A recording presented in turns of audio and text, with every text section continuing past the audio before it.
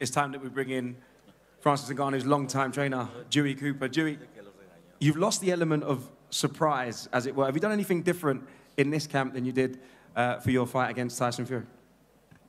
Uh, first of all, I'd like to say salam alaikum to your excellency, Turki Ali Sheikh, and the kind, beautiful people here in Saudi Arabia. Happy Eid Mubarak as you embark into your Ramadan uh, in a few days. Fighting Tyson Fury, his first fight, was a magnificent challenge. Very complex, highly dimensional boxer.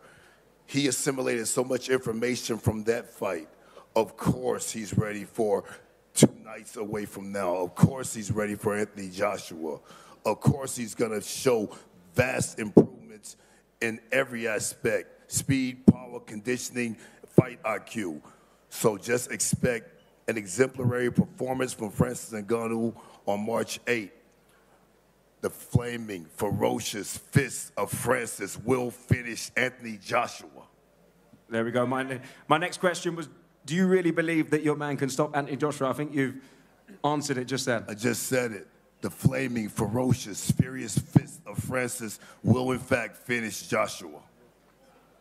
There we go. Couldn't say it better myself. Now, Eddie previously, at the, at, at, the, at the very start of all this, was, was critical of Francis's boxing credentials before he saw him fight. Now, how much extra satisfaction would that be winning on Friday? Uh, every fight, every fight important um, in this process to try and regain the World Heavyweight Championship is what he wants to do. This is a fight that came out of nowhere. Francis, uh, throughout his achievements in mixed martial arts, earned the right to step up on the big stage. Thought he performed excellently against Tyson Fury and earned the right to fight any heavyweight in the world. I mean, it's quite remarkable that on his professional debut, he fought Tyson Fury, and in his second fight, he's fighting Anthony Joshua. Um, you know, it's, it's, a remarkable run as a, as a fighter, um, and it's a real challenge. But as I said, I don't see any aspect that Francis is better than Anthony in. However, he's strong, he's powerful, and he's dangerous. So Ben and Lee will keep AJ disciplined, and he'll do what he does, and that's perform.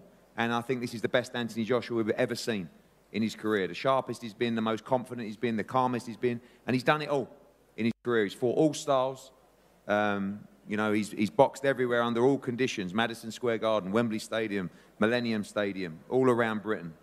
Twice in, in Riyadh now, three times in Riyadh, once in Jeddah. I mean, there isn't any moment, any style he hasn't experienced in his sport. He's now an experienced fighter, and that will be the difference on Friday night. But we respect these guys, they're real.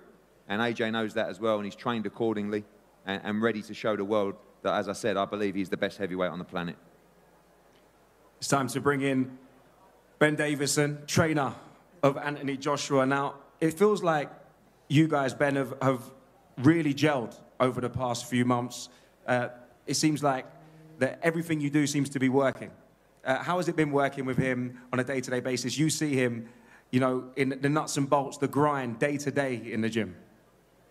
Yeah, he's a pleasure to work with. He's the ultimate professional, um, and he loves he loves boxing. So obviously that that drives us. We're passionate about boxing. He's passionate about boxing, and um, it makes for an enjoyable enjoyable partnership. Now, there's been talk this week in the build-up of resilience uh, and a little bit about heart. I mean, you see him every single day. How would you respond to those critics? We're going to find out on Friday. Man, a few words, I like it. It's, it's, it's strong words as well. Now, you've spoken about this 10 round fight and Ngannou potentially struggling to fight at that pace. Is that, is that the key? Is it push the pace, tire him out, and hurt him late? I just think, you know, there's probably a false sense of confidence taken from the, the previous fight that he had. I think it's going to be a completely different situation. We've prepared for him um, respectfully, professionally, and I think, um, you know, same as everybody. Nobody knew what to expect last time. Nobody knew, you know, everybody, being honest, was slightly dismissive. Now we know that's not the case. Um, and I think, I think, you know, yes, you can say there was a lot of experience to have taken last time, but I still think it's going to be a whole new experience. Do you feel like I asked Dewey about losing the element of surprise? Do you feel that that's a, uh, I guess, a, a confidence booster? Uh, a bonus that you've now seen 12 rounds of Francis Ngannou in a boxing ring to study? Yeah, to a degree, but I think Dewey is an experienced coach, and I think that to think that he's only got one layer to his game would, would again be underestimating him, and we've not done that. So um, we're prepared for him to, to have some new layers to his game. Um, and again, we're going to find out on Friday, but we're very well prepared. No doubt. Thanks for your time. Now it's time to bring in Anthony Joshua, former two-time heavyweight champion of the world. Anthony, we just heard from Ben. How has it been being back in camp with, with, with Ben? It feels like you, you two have got a real good bond. You two, you two get each other. God is good. Life is good. No complaining. Had a, about 10 days off, get straight back to basics, get back on the grind.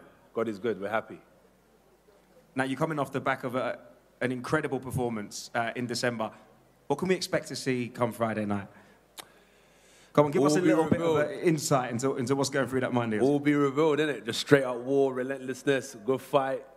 And uh, that's, what, that's what everyone's here for, good fight. So, yeah, stay tuned. If you're here, I appreciate everyone coming out. Much appreciated. His Excellency as well for putting the show on. And if you're at home, you know the score. Make sure you get it live on pay-per-view. Always got to get the pitch in, no doubt. Oh, yeah, I'm getting paid for this, bro. He's got pay-per-view points, I could tell. Uh, there's obviously an, in, an incredible Yeah. incentive for this for the winner of this fight. We're not looking past this fight. This is my main focus. Um, yeah, so the incentives and all that stuff is just to win. That's it. Just focus on my on my game plan and what I got to do. You know what? That makes sense. I, I was hoping I was hoping you give me you give me a little juicy gossip. We need, we need a clip. We need something. Let me see. Let me see. Let me see.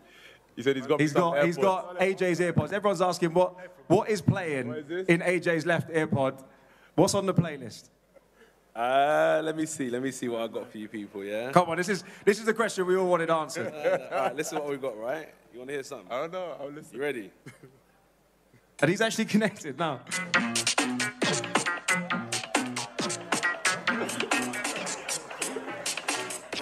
Who's got some lyrics? You got some old school garage going on there. Trust me. You know. Is that what's going on in camp? Is that is that the mood? Is that the vibe? That the energy? Just music, music, music. I don't know why there's a big conspiracy of what I listen to on my AirPod. I don't know what Well- the big deal is. Francis thought he sold it. If you see the Instagram video that Francis put up about what's going on, what's playing in your your earpod, No, what's he got playing on? What's, what You got better ask him. AirPod?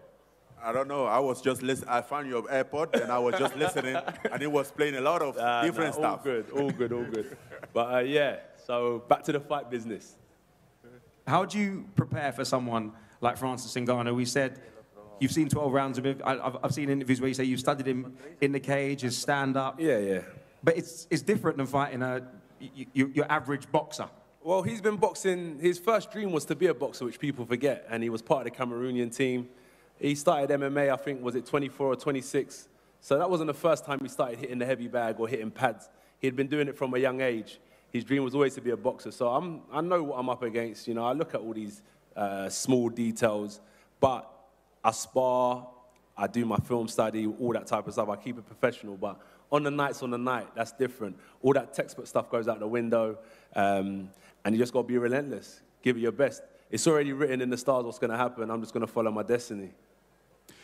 Do you ever feel that pressure to give Always. the, the, the to give Always. one, number one perform? Obviously, everyone expects Always. a certain level of you, but Always. also to give the boxing fans, not just British boxing fans, Yeah. boxing fans, the fight they want. Obviously, there's a man over here. I know we're not talking about, but Yeah. you win, and that's the end goal. It's my of course, duty. it means Yeah, it's our duty to do what we got to do. It's our duty to. We work for these people out here. Do you know what I mean? These are the fights that they want to see. We're here to entertain them. So I feel the pressure.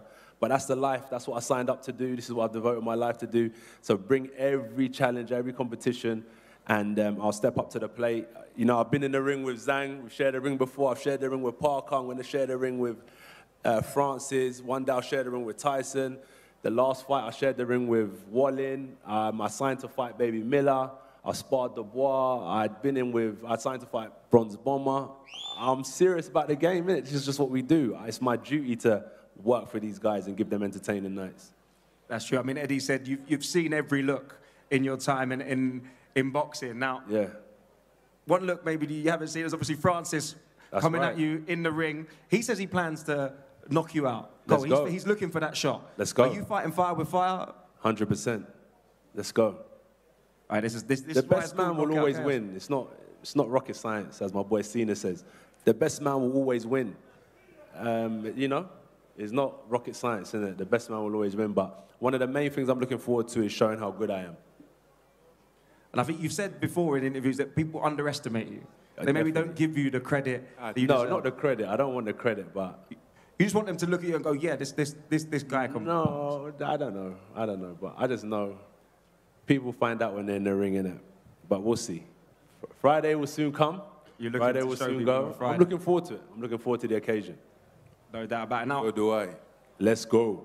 Let's go. have you got any? Have you got any final words No, for, for each other? Because I know we've had, it's, all, it's all been quite, Nah. quite nice in the build-up. I was going to ask, is there any questions that anyone wants to ask? Because I know you guys have been sitting quietly. Is there any questions from the public? Anyone wants to ask any questions before we wrap up? Big boss at the top. Yes, Africa's on the map. My next door neighbor, Cameroon. I see you all up there. Flags, everyone's looking amazing. Let's go. Yes, yes, yes, yes, yes. That'll be good. It's going to be a good night. Any final words for Francis and Ngannou? You can keep the AirPod. Keep the AirPod. Thank you. Truly appreciate Keep the playlist. Francis, final words for Anthony Joshua, the man that you're going to go face to face with Friday night. Well, good luck on Friday night. Respect. I'll see you there. Let's go. There we go, guys. That is all we have time for. Thank you very much. Any final words? I'm going to give you, Frank, Eddie, the last word here in this press conference. Um, look, it's going to be a marvellous night. Wherever you're watching the fight, you know, don't blink. It's going to be a great main event, and obviously all the undercard, as we said, are fabulous fights. I also want to just give a mention to George Warren and Spencer Brown for all the work they've also done behind the scenes to make this such a success.